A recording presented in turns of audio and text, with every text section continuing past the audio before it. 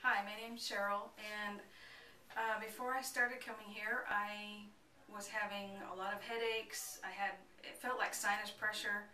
I was having pain in my right arm, and I couldn't even grasp and hold anything. Um, I was on low pressure for my heart because I had an irregular heart rate. When I tried to lay down and sleep, my heart felt like it was pounding through my back and um, in my neck. Um, I was having pains just sleeping. It would wake me up every couple hours with my muscle, my hips and my back would be hurting.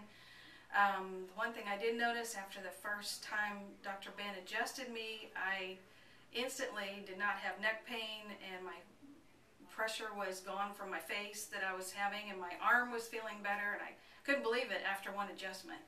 Um, after a couple adjustments, um, I actually stopped taking the low pressure because I was out of it and I thought, well, I'm going to just try not taking it because I watched the video and they were talking about how the your spine and nerve and everything related to your heart. So I thought, well, I'll just see what happens. And I haven't had to go, I haven't had to take it at all.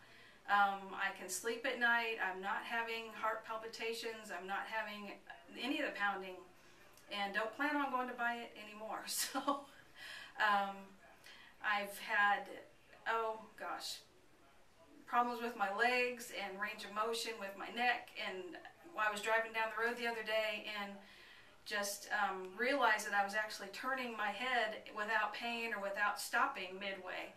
So it, it all has to be accredited to Dr. Ben and the adjustments I've had for the last couple weeks.